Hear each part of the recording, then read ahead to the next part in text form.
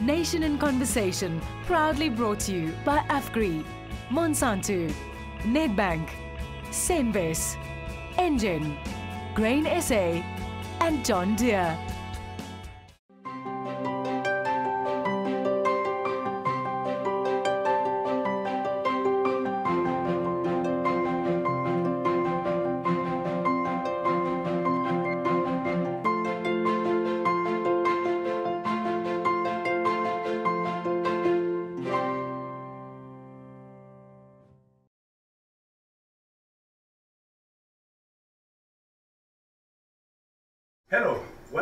Nation in Conversation. I am Mpumelelo Mkhabela. We are broadcasting live from Nampo Harvest Day in Bothaville. Today we have a group of students from diverse backgrounds coming from all over the country to hear for themselves what would be best for them if they want to pursue careers in the agricultural uh, industry. And equally diverse is our panel, very competent panel, very high level, and I'm hoping that you will make this uh, enriching for the students that are here.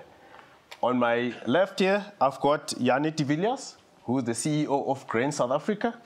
Next to him is uh, Omri van who is the CEO of uh, Agri South Africa.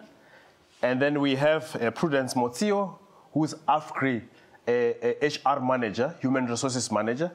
And then I've got uh, uh, Flint Meintjes, who's the financial analyst at this big conglomerate called Senwes. It's a huge agricultural company. Uh, you are welcome and you will have an opportunity to participate and ask questions and seek for, and seek for clarification.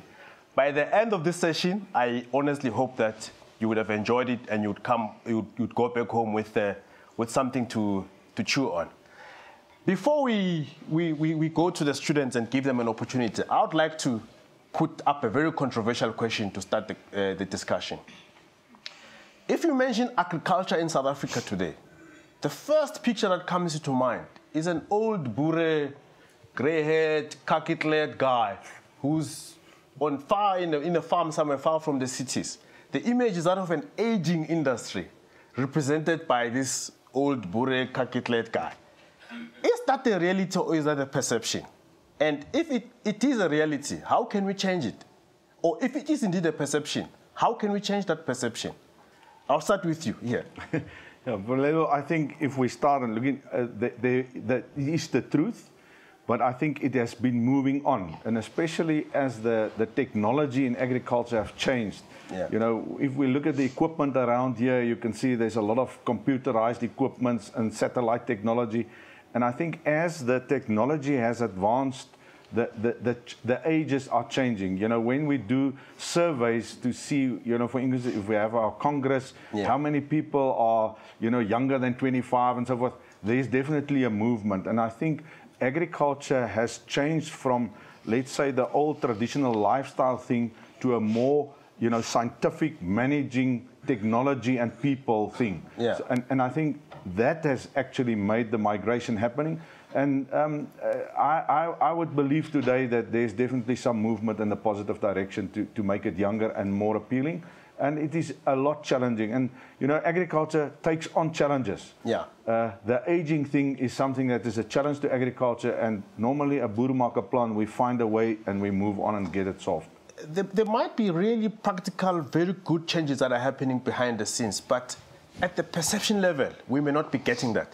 Omri, what's your take? Yeah, we need to. I mean, we had a discussion last year about it as well. The, the perception is changing, and, and we are working really hard to change that perception. Um, we're going to launch a campaign now where we have a big perception change kind of messaging that's going, going out. You must also remember that, that agriculture is a whole value chain, from the primary producer to right to the, the guy that sells at Checkers a piece of meat. So there's a whole lot of businesses in between. Mm. So if someone studies agriculture or is interested in agriculture, it's a very dynamic and, and a very, uh, uh, I think, interesting in industry to be in. There's a whole host of things that you can do within that value chain. Mm. But I think knowledge, skills, and experience is, is, are the things that are really important in, in, in getting people involved in that value chain. Yeah, Prudence, maybe from an HR background, you, you, you, you, you know of all the, the, the skill sets required and all the different careers required that you can pursue in agriculture. Would, would you take us through to some of the exciting I think firstly, maybe just to talk about the perception. Yes, it's correct, uh, but I think it's definitely changed. So, for an example, I'm in agriculture, um, and you would never expect uh, that there would be a young black female in the agricultural sector. And what has become key over the years for me is that one needs to have a mind shift. And I think what's more important is that uh, we need to focus on the youth being that perception that we need to change. They must have, be the drivers of changing the face of agriculture. So just to add on to what Yanisa has said in terms of technology. So traditionally, agriculture has done very well, uh, even with the perception of uh, a white boer with, you know, in, in this uh, specific place, brown socks and whatnot. But if you look at agriculture now, with technology in mind and creative, uh, innovative ways, those are being driven by young people. So you now find uh, tractors that are technologically driven, uh, that can plow and harvest a whole um, uh, hectare of a farm, which is all being driven by young people. So I think the mind shift is key for me in attracting these young people into the industry. So the different uh, careers that we have in agriculture. So one of them is HR. Uh, because for a farmer to be successful out there or for a business to enable that support to a farmer, you would need your supporting function being either finance, being uh, marketing, uh, and then you also go into the background where you have your IT specialists, you look at uh, your lab analysts uh, that are going to make sure that the farmer uh, plants the right seeds in the right soils with the right ag- agronomists to make sure that they get the greatest harvest out of their, you know, their soils. So really the careers are endless um, if, if, if young, young people can get out of the perception that agriculture is only uh, for a specific sector or diverse uh, culture, then we've got a problem. Maybe, maybe to put the question differently and become at least more personal now. Yes. When did you join um, uh, the sector and how old were you? I was, so I joined um, AFGRI specifically eight years ago. Yeah. And for me, uh, what I was attracted to is that I wanted to be part of a bigger picture uh, in terms of the food space. So, what was critical for me is that I don't think there ever will be a day where one will stop eating. Uh, and what was uh, my key driver was, you know, if you look at other countries, such as uh, Somalia, you know, in the African countries, they're going uh, hungry because, firstly, they either don't have the skills to make you optimize to optimize their land, or they just don't have the opportunity, or the mind shift is the problem. So the solutions is in those industries is always U.S. aids from other international countries. But if you think about it, uh, and you know, anybody can challenge me on this one, but I really believe that in South Africa, we hold the key to food security. We've got fertile soil, we've got uh, wealth of information uh, and knowledge from our traditional farmers. And so, what's key is that we need to now work on transferring those skills from our traditional farmers to youth. So, if I think of a corporate environment which I'm within, but in the agricultural space, what is important to me is to start getting the commercial farmers on board rather than having a student that wants to become either a farmer or IT technologist or lab analyst or business strategist. We need to partner those people We'll, with we'll, experts. we'll come to the assistance that uh, Yeah. we, can, we can offer to young people. I want to come to Flint. Flint, wh- wh- when did you uh, join this space? When did you join Senwes and how old were you? Um, now I'm actually been only a year at Senwes, Yeah? and um, I'm 27 now. So after the studies, um, I did my articles, and then I joined Senwes. So it's only been a year now, yeah. All right. And what, what did you study? Uh, chartered accountancy. Yeah. Chartered accountancy. So, so, so agriculture can actually be cool and get uh, accountants as well. yeah, um, agriculture is actually very cool. Um, the good thing about agricultural businesses, it's, it's not co-ops like in the old days. Um, now it's commercial uh, corporate companies. Yeah. And it's very, um, a, a very challenging environment in the sense that you've got different industries actually, like um, Omri touched on the value chain. You've got different in, uh, industries and, and in one company. If I may use investment as an example, we have retail, we have logistics, um, storage and handling, financial services, and um, insurance. And then you've got the corporate functions like finance, legal. So it's all of these businesses that needs to be integrated into one business um, and, and, to, and to work as a group. So for young professional people that want to be in a challenging environment and that wants to grow their skills, um, the agricultural companies is a great way to start. Yeah. Yeah, but but obviously, uh, uh, back to you. It, it doesn't necessarily mean that uh, we, we're saying the old uh, uh, uh, guard should should vacate. They would be they, they could be of great assistance to the young entrants in in, in, in this agricultural space. Yeah, I think agriculture is very rich in that sort of tradition where the old guard helps the, the new guys. I mean, uh, there's so many stories about family farming, and the, the fact that they're sustainable is because the, the skills have been transferred over the generations. But now with this transformation that the country is in, in general, Yeah. you know, Grain South Africa, as we sit here today, we're employing 90 mentors.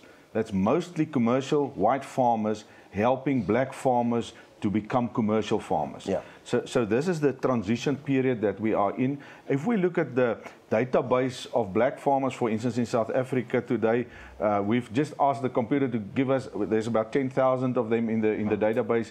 Uh, how many? What percentage of them are younger than 35? Now I don't know why I picked 35, but that was a round number. Uh, it is 15 percent. So, so there's already a, a group of youngsters coming through. And when we talk to them at grassroots level, we, we, we are getting an excitement also from them. But I think the point that Prudence was making about the food security, the bigger picture, we want to make sure we're sustainable in terms of you know looking after the planet and the practices that we're using are, are, are, sustainable in that way. Um, but, but it is actually a very nice thing that you might not necessarily find in other countries. This, you know, one generation helping another one to move on, not just over race, but also over the, the, the, the generation gap. I, I like the fact that you, you, you speak about uh, mining uh, data from your uh, computer and analyzing it and packaging it and you know so clearly in all of that process you have got you have to have statisticians you have to have IT people in this agricultural space Mulelo, my hair might be white, but it's because I've got many miles on. I'm not that old. But uh, so, so what we've got, we GPS coordinate every single piece of land, even if it's a one hectare farmer. Yeah. There's a soil sample being taken. It's all in the database. When last did this farmer attend the Farmers Day? Where, which study courses he's done with Grain South Africa or whoever else? What was his yield last year? To whom did he sell? So that we can, you know, when a financier get there, you can say, listen, this is the, the profile of the guy. You can actually help him to get input suppliers and financiers to, to get the process going because we need this, this transformation to happen. Yeah, and, and when we mention GIS, which is the Geographical Information, it reminds me of geography. So you can actually study geography and have a career in agriculture. It, mm. it, it somewhere it fits in there. So Yeah. you, you actually can do a lot in that space. Yeah, and I, and I think in the past, where you know in the regulated era, government made the rules and the prices and all of that. Now you need these type of financial guys because you want to hedge. Yeah. You know, uh, this is pure financial stuff, but Yeah. it is agricultural products. Yeah. It is never going to be like coal the same tomorrow. Yeah. because it's raining this year you know it's not raining you know the prices go up and down. There's a problem in america or there's something happening in japan you know this it is just a fantastic dynamic area. It is never the same. Every season is different. Yeah, Omri, but uh, I'm sure there should also be a sense of guilt, if not a bit of embarrassment from the young people, if they have to be fed by old people. Why can't they produce their own food? Look, you know, I don't know if people care what color the cat is as long as it catches the mouse. mouse. So, no, I, I- just latching on to what Jannie just said, you know, we've got 25 commodity organizations in Agri SA, and that ranges from aquaculture, guys that breed abalone and mussels and clams and all kinds of stuff, right through to grain farmers. And in between, you've got grape farmers and sugar farmers. And if you can eat it or drink it, it's there. Yeah. So it's such a dynamic environment. And all of these have sophisticated businesses within mm. themselves. Mm. And a lot of them have export markets. And so, so it's actually a very diverse kind of business. So a lot happens actually from the farmer to when you, because people seem to think that Woolworths, uh, you know, But are there opportunities for young people in this uh, economic environment? the agriculture is the growth node for South African for the South African economy. It is where it's happening, and you can see a place like this. This is the, the, the boiling pot of the of the future of, of, of South Africa's economy and also of Africa's economy. Because uh, what Prudence was saying earlier, you must remember that food security wise, we are the only continent in the world that can actually develop to the extent that we can feed the rest of this continent and the rest of the world. And within this, South Africa is sitting with the skill and the knowledge and the technology and the financial systems. So it's a massive opportunity for us to firstly get our agriculture economy up, get a more inclusive growth story, get property rights sorted out so that people can own the land, and then use that base to expand into other countries. And a lot of companies in South Africa, Monsanto and Syngenta and you know DuPont, they all want to expand into Africa, but the skills base is lacking. So I see us as the future hub of technology growth and, and opportunity for Africa here in South Africa. And, and Prudence, who, who's supposed to do this uh, uh, training to make sure that the skills is uh, available uh, in abundance? You know, as associates and organizations sitting right now and talking about this, it's our responsibility. So it's also the responsibility of the youth. So, you know, what is critical within the agricultural sector is it was mentioned in uh, a discussion during the week as well that if you don't have passion for it and you are out to just get money, then you've got a problem. Uh, you know, the agricultural sector, for you to be successful and really contribute to food security in Africa, um, like Omri is saying, is you need to be selfless. It needs to be not just about you, but about the current generation and the future generation. If we don't do something about it now, as key contributors, uh, then we would have failed drastically. I, I know you can't teach passion, but but somehow we have to do something in our society that that that allows passion to develop, create an environment where people can be passionate about agriculture. How, how are we how are we doing in that regard? We are running a schools program now, I think, for about eight to ten years, Yeah. where we try to influence the grade nine kids just before they make their final decisions, you know, about their subjects going into matric and say, Yeah. these are the careers in agriculture. This is how a farm works. Where, where does money come from? And what is all in your hamburger and your T-shirt? You know, those sort of things. Yeah. And that is just to try and help the kids to understand what is it that, that you know, taking decisions going, going forward. There, there are, we, we've got a grain academy for young farmer leaders and, and people in agriculture sector to develop their leadership skills because we know tomorrow they're going to have to make the decisions. And, you know, in the, in the old days when I That academy is run by Grain SA, right? that's Grain SA uh, and Syngenta with, with some business schools. Uh, you know, when I grew up, I was sitting as a youngster in the wheat board and the maize board, and there was all these old worms, and they were, you know, it sounds like they know everything now. Yeah. And, and I've learned from them. But the, the, the, the new generation hasn't got that sort of incubator where you can actually start rubbing shoulders. So we need to create things where the next generation start learning each other. We hmm. take government officials there Yeah. so that they don't find each other for the first time doing land reform negotiations hmm. when they like at 55. They need to start do, talking about these things, resolving labor issues and you know safety on the farms or whatever when they're 35 and younger. Hmm. So, so these are the platforms that we create to take this this specifically forward, and that the next generation start thinking about the difficult issues because we need some new solutions. You know the old guard can't find new solutions to their old problems. We need some people thinking differently on, on these things. So we're trying to create some platforms where they can talk.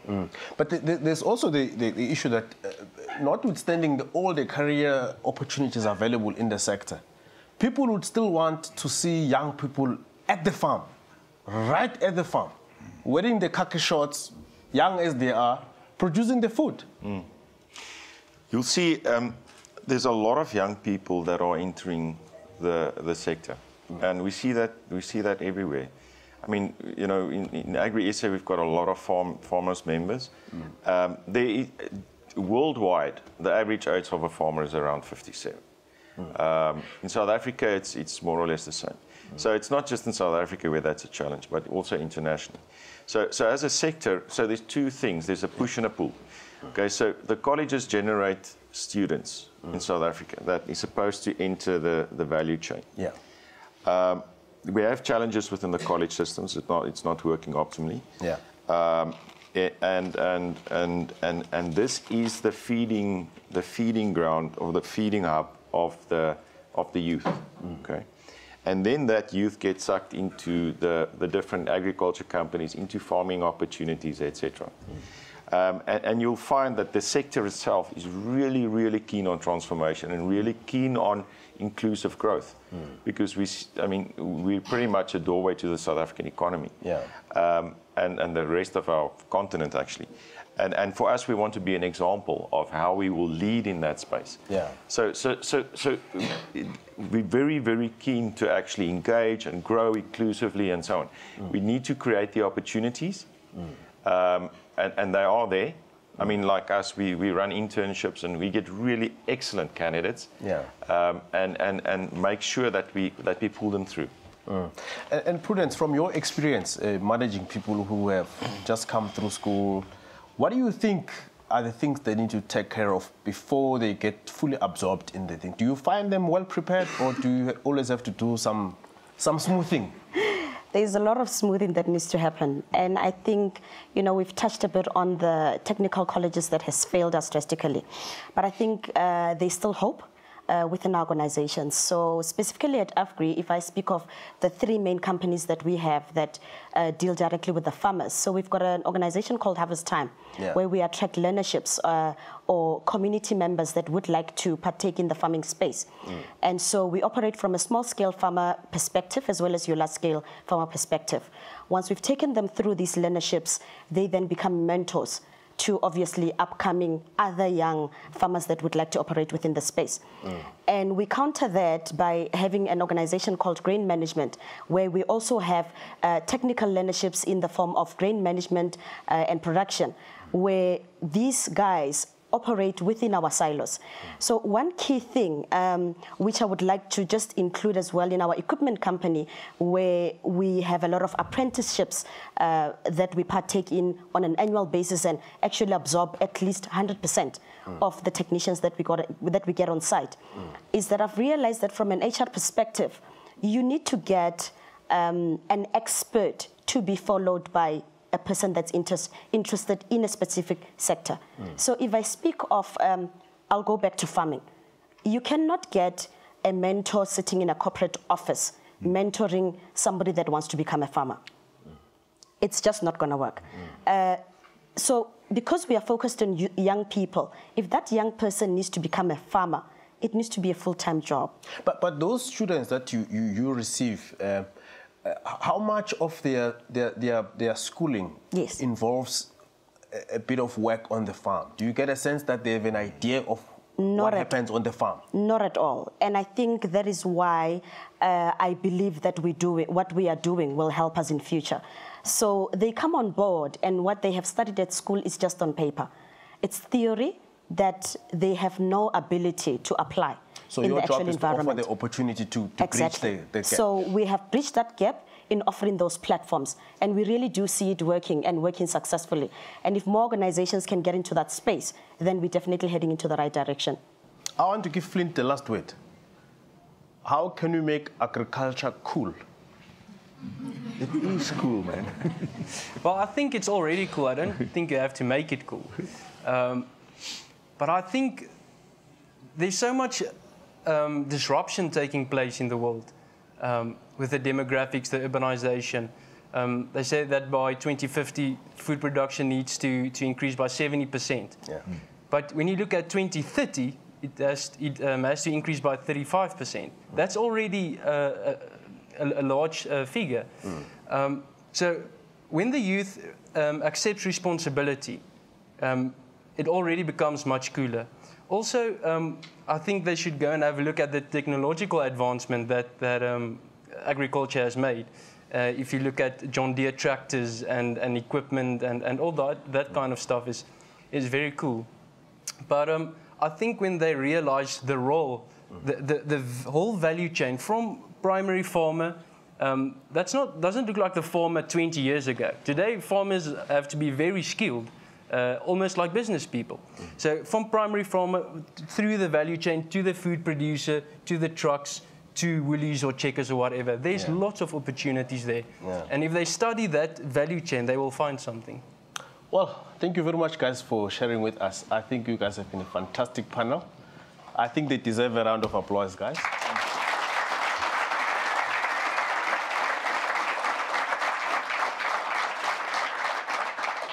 And that's it uh, coming from us here at uh, uh, Nation in Conversation here at Bothaville, Nampo, Harvest Day.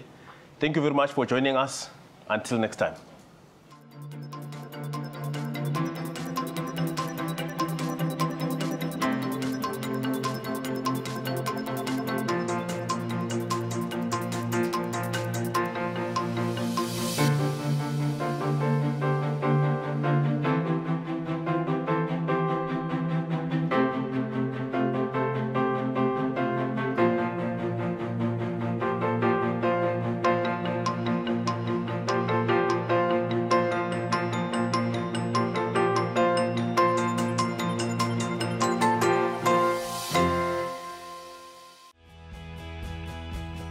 In Conversation, proudly brought to you by AFGRI, Monsanto, Nedbank, Senwes, Engine, Grain SA, and John Deere.